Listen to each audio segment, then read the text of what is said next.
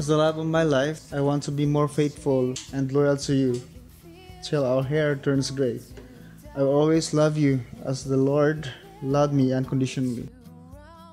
Maybe been in some um, ups and downs in life, but uh, I know that uh, our prayer keep us more stronger in spite of the flaws that we have. I promise you always that I will always be here, even uh, trials and troubles may come.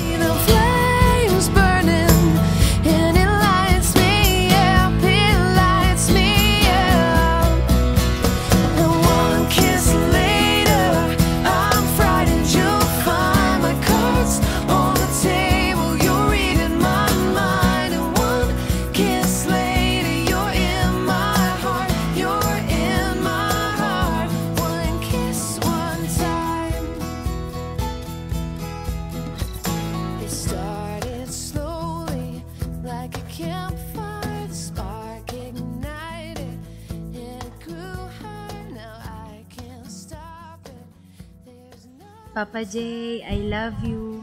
I promise to support you, to be loyal, and especially to love and to give happiness to our family. That is my priority. I love you so much. Miss pa.